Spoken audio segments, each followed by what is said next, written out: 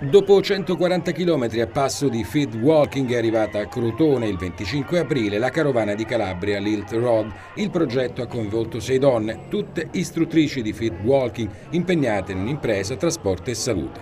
Dal 21 al 25 aprile le Feed Walker hanno percorso a piedi al passo della camminata veloce i 140 km coast to coast che uniscono il Tirreno allo Ionio. Il progetto è stato promosso dalla LILT Pitagorica e da quella nazionale in collaborazione con Camere di Commercio, Confcommercio, Fit Walking Nazionale dei fratelli Giorgio e Maurizio da Milano ed ha interessato numerosi territori. Pizzo, Maida, Squillace Lido, Cropani Marina, Botricello, Le Castella e Crotone. Sono, vivo, sono un calabrese doc ma vivo in, in, Toscana. Elena Massoglia e sono di Rivarolo Canavese in provincia di Torino. Com'è stata questa esperienza? È stata bellissima. E credo che questa sia stata una delle esperienze più capaci di cambiare profondamente una persona perché non era un viaggio piacevole, bello come il Cammino di Santiago, come un'escursione in montagna.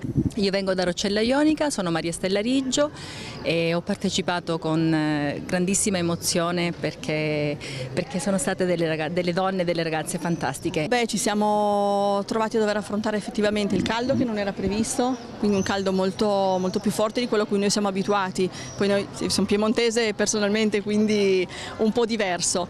Il gruppo si è amalgamato molto molto bene, molto in fretta.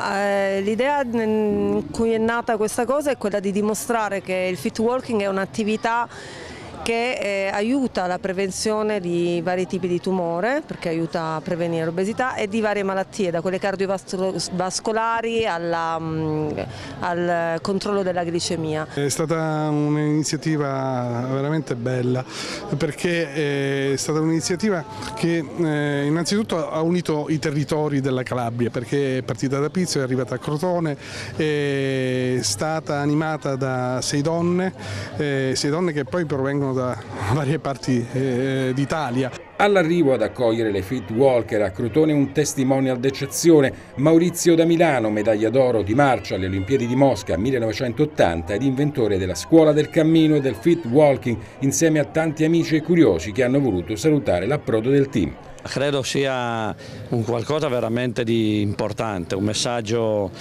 doppio, da un lato c'è la spinta, la motivazione anche alle persone che stanno bene per, per muoversi, per fare prevenzione primaria, quindi cercare di prevenire quelle che sono le patologie poi più importanti del, della nostra epoca, quindi parliamo soprattutto delle malattie croniche non trasmissibili, è un messaggio importante anche per, soprattutto per chi la malattia magari già ce l'ha e ha una speranza in più perché il movimento attraverso l'esercizio, anche il recupero dopo aver affrontato tutto quello che è il percorso di cura della malattia può essere veramente un grande supporto, un grande aiuto sul piano mentale e sul piano fisico.